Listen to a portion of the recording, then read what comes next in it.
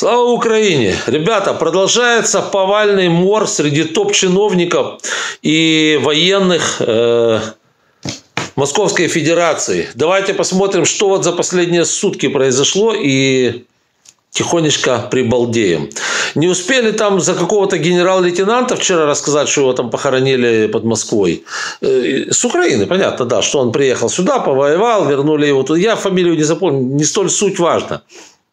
Как сегодня, нет, точнее вчера, потом же, э, пошла информация о том, что от ранений умер командир Саратова. Это БДК, который был э, разбит нашими в Бердянске. Если вы помните, там же, рядом с ним, был второй БДК. Это Цезарь Куников. Помните, такой был? Да. Так вот, его командир умер сегодня от э, ранений, полученных, как они сказали, на материковой части Украины. Понимайте, как хотите. Может быть, это еще те ранения, которые были э, получены при э, попадании нашей точки У, если это была точка У в БДК Саратов, а этот стоял рядом. А может быть, как-то по-другому. Может, он пошел повоевать, ему руки, ручки зачесались, и он пошел повоевать там в Николаевской области или в Херсонской области, ну и его где-то там приконтрапупили. Соответственно, сегодня говорят все. Вот. То есть, вот мы видим три топ...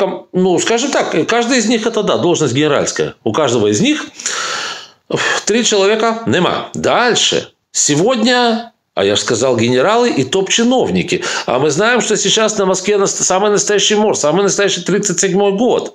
С этими всеми делами мы знаем Суркова, мы знаем 50 арестованных генералов. Но вот новости, смотрите.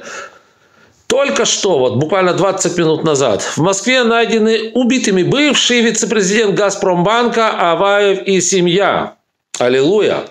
По версии пропаганды российской, 51-летний Владислав Аваев застрелил свою 47-летнюю супругу и 13-летнюю дочь, после чего покончил с собой.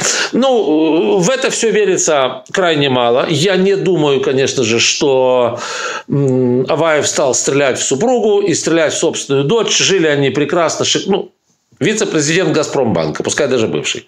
Вы же прекрасно понимаете. Чего бы вдруг он в них начал стрелять? Конечно же нет. Э, дело там совершенно в другом. Скорее всего, этот товарищ очень хорошо знал э, о махинациях кремлевских и самое главное знал, где находятся средства, где находятся деньги. Вот за что шлепнули его. А жену, жена это прекрасный свидетель, она должна, могла быть точно так же в курсе дела, как и он. Дочка, понятно, наследница, то же самое, лет через 10-15 могла бы забрать эти деньги себе соответственно, расправились и с ней. Вот что, собственно говоря, происходит. Происходит повальный мор среди тех, кто организовал войну в Украине. Мы смотрим уже уже практически никого из тех генералов, которые эту войну начинали, начиная от командующего Черноморским флотом, которого забрали, Басурина, пол, про, прочие сволочи, которая начинала войну в Украине. Их никого уже нет. Все.